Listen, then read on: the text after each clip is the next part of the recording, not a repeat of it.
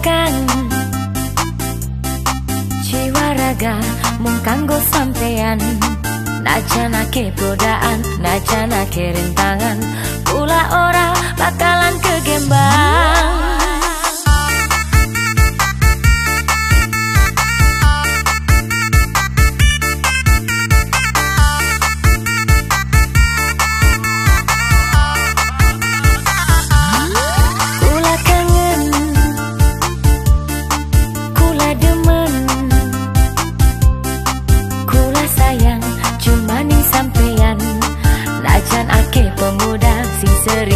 menggoda